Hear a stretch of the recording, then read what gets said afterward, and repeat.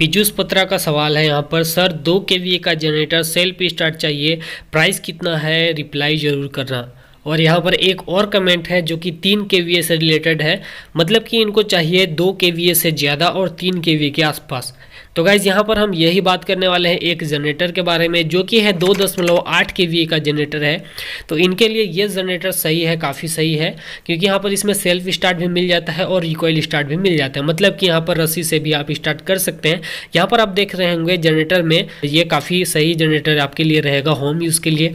या फिर छोटे मोटे सामान इलेक्ट्रॉनिक सामान काफ़ी अच्छी, काफ़ी अच्छे तरीके से आप इसमें चला सकते हैं। तो आज के वीडियो में आपको बताने वाला हूँ इस जनरेटर का प्राइस कि यहाँ पर इसका प्राइस कितना पड़ेगा और इसमें क्या क्या स्पेसिफिकेशन आपको मिल जाते हैं, सारा डिटेल्स मैं आपको बताने की कोशिश करूँगा, इसमें आपको कितना लोड डालना है तो ये सारी चीज़ मैं आपको बताने वाला हूँ।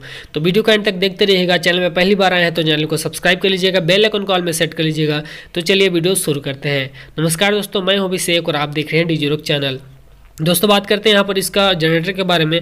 तो यहाँ पर जनरेटर का लुक देख सकते हैं, काफ़ी खूबसूरत यहाँ पर जनरेटर बनाया गया है। यहाँ पर हैंडल भी काफ़ी अच्छी तरीके से बनाया गया इसका चेचिस हम बोल सकते हैं, जो कि यहाँ पर दो आदमी हम इसको काफ़ी इजी तरीके से उठा के कहीं भी ले जा सकते हैं या फिर कहीं से, कभी मतलब कहीं भी हम इसको रख सकते हैं। एंड यहाँ पर बात करते हैं, इसमें सेल्फ स्टार्ट मिल जाता है एंड यहाँ पर आपको जो है रिकॉयल स्टार्ट मिल जाता है। जैसे कि यहाँ पर आप देख सकते हैं, जो आपका रस्सी से लपेटा होता है, उसको हम देन इसको घींचेंगे तो यहाँ पर जो है आप इसको स्टार्ट कर सकते हैं। मतलब कि यहाँ पर दो ऑप्शन आपको मिल जाता है।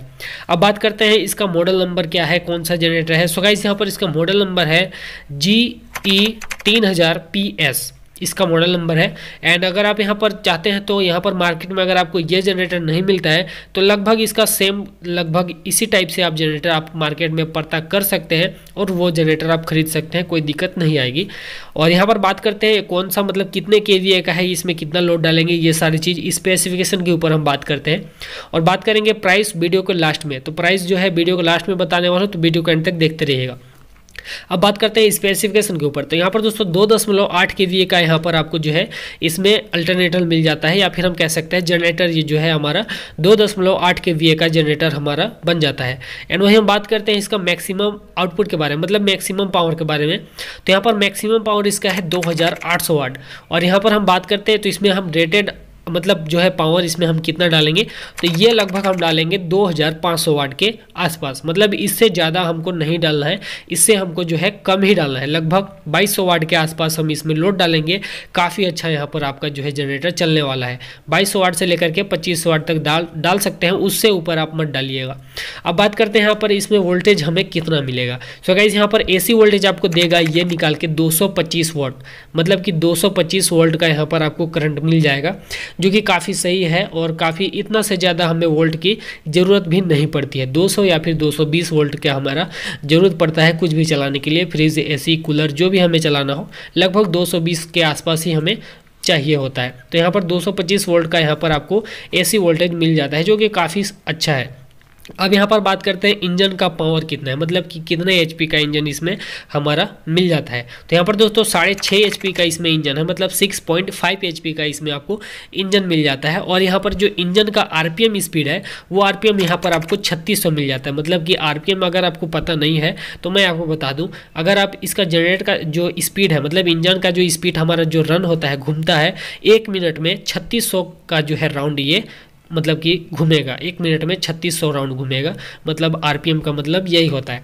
एंड बात करते हैं फ्यूल टैंक कैपेसिटी। तो यहाँ पर पेट्रोल इसमें लगेगा और इसका जो कैपेसिटी है, इसमें आप 20 लीटर 500 ग्राम तक इसमें आप डाल सकते हैं। मतलब साढ़े बीस लीटर का यहाँ पर फ्यूल आप इसमें डाल सकते हैं पेट्रोल। एंड वहीं बात करते हैं इसमें तेल कितना खाएगा मतलब एक घंटे में फ्यूल कंज्यूमशन कितना करेगा। तो दोस्तों, एक घंटे में अगर आप इसको फुल लोड में चलाते हैं तो लगभग एक दशमलव तीन लीटर के आसपास खाएगा मतलब एक लीटर तीन सौ ग्राम के आसपास एक घंटे में पेट्रोल खाएगा। अगर आप इसमें कम लोड डालते हैं, जैसे कि पंद्रह सौ वाट के आसपास या फिर दो हज़ार पंद्रह सौ, इस टाइप से अगर मतलब कम डालते हैं लोड तो लगभग यहाँ पर एक लीटर के आसपास खाएगा, उससे ज़्यादा नहीं खाएगा। अब बात करते हैं इंजन ऑयल के बारे में। जैसे कि अगर आप इंजन ऑयल चेंज करते हैं तो इसमें आपका कितना इसमें कितना ग्राम डालना है तो इसमें आपको इंजन ऑयल 600 सौ का यहाँ पर आपको लगेगा। अगर आप कभी भी चेंज करते हैं तो अपने से भी चेंज कर सकते हैं और इंजन ऑयल इसमें 600 सौ आपको डालना है, काफ़ी सही रहेगा। एंड बात करते हैं इसमें वेट कितना पड़ जाता है मतलब इसका जनरेटर का वेट कितना पड़ जाता है। तो गाइज़ इसका ग्रोस वेट है अड़तालीस के अगर आप इसमें पेट्रोल डालते हैं तो उसका जो है वज़न कम या फिर ज़्यादा हो सकता है। अगर मान लेते हैं दस लीटर आप डालते हैं तो हो सकता है उसका वज़न जो है कुछ ज़्यादा बढ़ जाए। तो यहाँ पर अड़तालीस पचास के का ये आपका जनरेटर पड़ जाता है। तो उतना ज़्यादा वज़न भी नहीं है, काफ़ी सही है। आप दो आदमी जो है, दो आदमी इसको कहीं भी इसको उठा के काफ़ी आसानी से ले जा सकते हैं। और बात करते हैं इसका बैटरी बैटरी जैसे कि यहाँ पर जो सेल्फी स्टार्ट के लिए बैटरी इसमें लगा हुआ है, वह है बारह वोल्ट का बैटरी लगा हुआ है नौ ए एच का। अब बात करते हैं इसके प्राइस के ऊपर। तो गाइज़ यहाँ पर इसका प्राइस लगभग पड़ जाता है अड़तीस हज़ार से लेकर के चालीस हज़ार के प्राइस में आपको मिल जाएगा मार्केट में। मार्केट में अलग अलग प्राइस होते हैं। हो सकता है आपके मार्केट में कम प्राइस हो या फिर ज़्यादा प्राइस हो सकता है। ये मैं आपको एक आइडिया बता देता हूँ कि लगभग प्राइस कितना हो सकता है। और बात करते हैं इस जनरेटर के बारे में तो जनरेटर आप कोई भी ले सकते हैं मतलब कोई भी मॉडल का आपको अगर मिल जाता है मार्केट में तो वो आप जनरेटर यूज़ कर सकते हैं। होम यूज़ के लिए काफ़ी बेटर रहेगा आपके लिए।